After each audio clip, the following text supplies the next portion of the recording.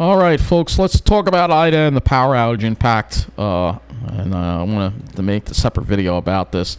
Uh, you can see that more or less this, this part of Louisiana is in a complete blackout over here. Uh, and fortunately, looks like how's Baton Rouge doing? Where's Baton Rouge? Where is Baton Rouge? I can't even find it. Uh, Baton Rouge may not be doing too bad, actually. Yeah, yeah, they're not doing as bad. Well, yeah, they are doing. Yeah, there's some outages, but not as bad as the New Orleans area. And it's a complete blackout because the transmission system has been destroyed in this area. Uh, and Mississippi also seeing those impacts too in the southern part of the state as well. Uh, and there's some articles about this I want to read here. Uh, Entergy is assessing damage. Uh, so, uh, and this is this is the this is pretty historic because this is the first time a hurricane has actually caused substantial damage to a power transmission system. Uh, so, an anticipated storm team of more than 20,000 and growing has begun assessing the vast damage and destruction across New Orleans and southeastern Louisiana caused by Hurricane Ida's landfall on Sunday. The catastrophic Category 4 hurricane's brutal winds and torrential rainfall toppled transmission power poles and other equipment. Uh, so, damage to eight high voltage lines took out power for New Orleans and Jefferson, St. Bernard, and Plaquemines parishes, as well as St. Charles and Terrebonne parishes.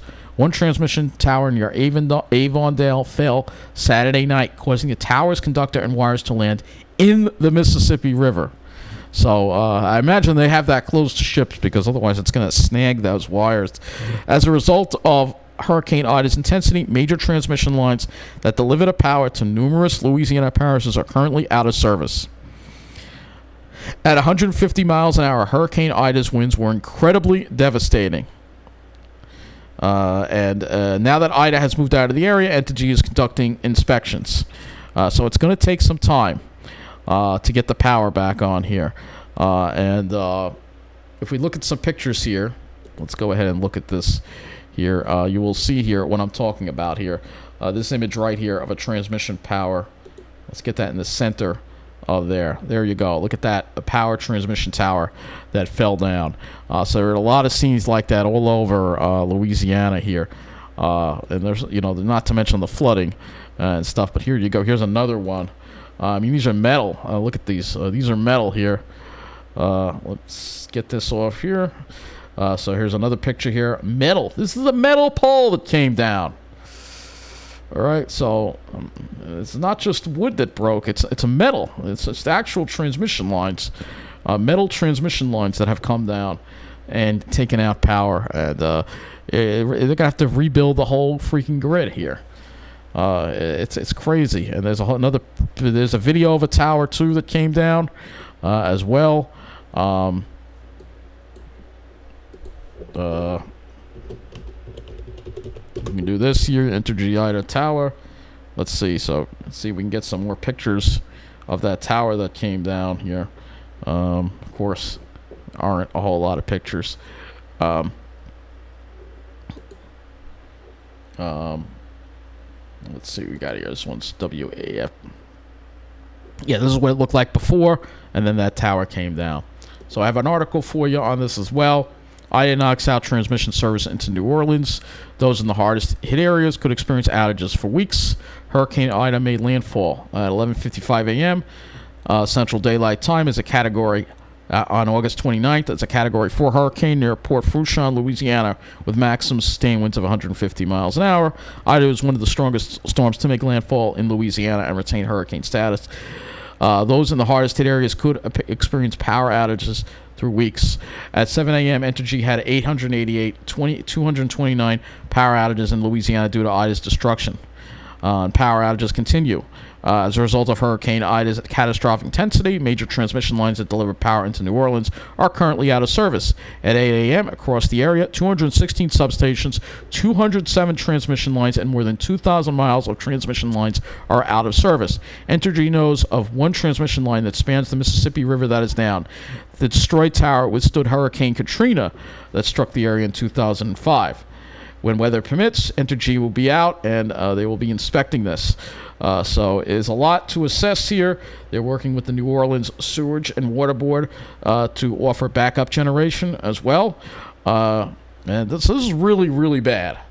This is really, really, really, really bad. And I, I want to just go and look at Twitter and see if we can get some more information here. Just twitter.com and uh, look out some more information here. Of course, you know, Twitter, you are such a pain. They, they, they, lately they crack down people who don't have accounts. I don't want to get a Twitter account. I don't happen to like Twitter, but I have to use it uh, uh, to. Uh, and we can put Ida here, and it'll just show you some images here of. Uh, so the the levees and floodwalls that protect New Orleans held up. That's very good. That is very good. Uh, but some suburbs did have flooding uh, as well. Um, and uh, you can see again some of the damage here. Uh, Port Fourchon really got hit hard. That was where it made landfall. Uh, and let's uh, let's see if we can get some more images of uh, power lines here. Outage or something like some more images of the power lines that have come down because that's what we're talking about here in this article here. And uh, well. I don't know, not a whole lot of pictures of these collapsed towers. Because you'd think there would be. Uh, here we go. Here's a here's a another picture of one here. Uh, of a collapsed tower here. Um, so you'd think there would be some more, but this is some of the pictures here. Uh, these are sub-transmission lines, distribution lines. Um, uh, the, the, this is uh, this is uh, this is the tower that collapsed. It's it's crazy. Look at that. Um, uh, uh, those lattice towers. There's also there's some rust on there, which is a little bit of a concern. And again, like I said in the video last night, uh, their infrastructure wasn't up to the task, and you know it was not up to the task at all. I mean, there would have been lines going down, but the, to have these old lattice structures, you know, you can't have lattice structures like that. So let's see um, in, in a hurricane area because they're not strong enough. They're not strong enough. Uh, let's see. There's another image here. Um, there's a distribution line. They really don't have a whole lot of pictures, so I shared what I could of uh, of what happened. Uh, but we'll have more information in the coming days. I guess it's just very slow getting these pictures out. Uh, um, and look, JCP&L is sending sending help too. FirstEnergy as well. Uh, let's see, maybe Entergy Louisiana has some more images here. Uh, here's a picture again of that collapsed tower. Uh, uh, and here's yeah, here you go. So there you go. That's some broken wooden lines there. Uh, this is a another looks like a uh, wood, maybe 138 kV. Oh, that shouldn't even be using that on a 138 kV over there. Uh, but again, not a whole lot of pictures here. Uh, we'll see more in the coming days, and I'll share them with you because this is quite historic here to see uh, such a, a, huge wide scale power outage. Uh, and again, if we go to poweroutage.us uh, and look at the amount of people without power in Louisiana, we are over a million here. One million, over one million people without power in Louisiana right now. So that is quite incredible, just for one state, and it's not even that big of a state.